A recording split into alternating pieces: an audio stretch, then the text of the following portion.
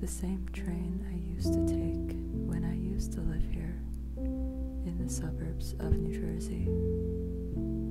The suburbs always made me feel sad. I could almost feel the hopes and desires of all the colorless people, like ghosts roaming their towns, afraid of change. Oftentimes, I would people watch in the city or daydream about handsome, intellectual lovers who never came to be.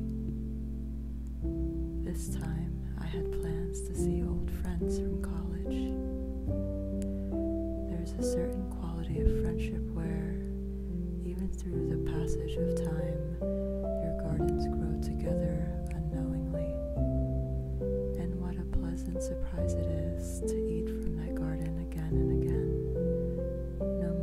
distance, the heart remains the same. The love is still there.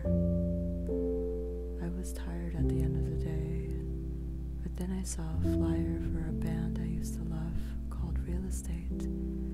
They were playing a 10 year anniversary show celebrating an album called Days.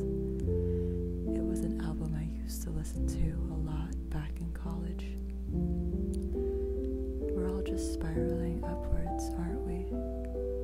Visiting old places with people we used to know, perhaps less than before, hearing songs we